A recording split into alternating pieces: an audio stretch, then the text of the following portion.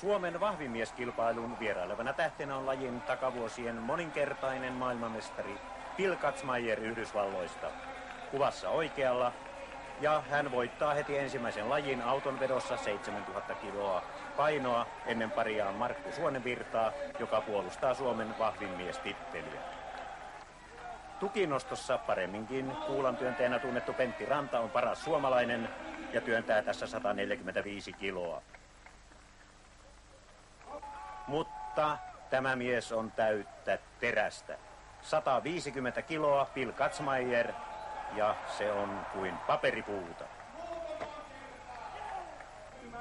Kaksi kannettavaa tynneriä, yhteispaino 200 kiloa.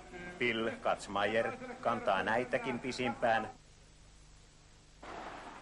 Auton kaadossa Katzmeier oli edelleen paras, toisena Suonenvirta ja kolmantena kuvapoikamme Pentti Ranta, joka heti ensimmäisissä vahvimieskilpailussa hätyttelee lajin supertähtejä.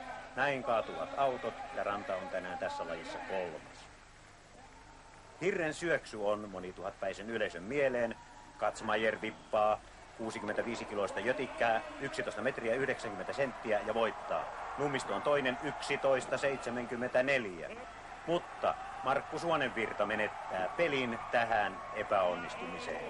Jäljellä on enää yksi laji. Ja siinä sadan kilon säkki olkapäillä Ilkka Nummisto on tällä hetkellä maailman nopein. Katsmaier ajaa häntä takaa, mutta Nummisto kiertää tänään kupittaan Tartanin 33 sekunnissa ja on ylivoimainen. Tämä takaa yhteispisteessä Nummistolle Suomen vahvin miestittelin, mutta tämän päivän paras on Bill Katzmaier, toinen Ilkka Nummisto ja kolmas Markku Suonen Virta.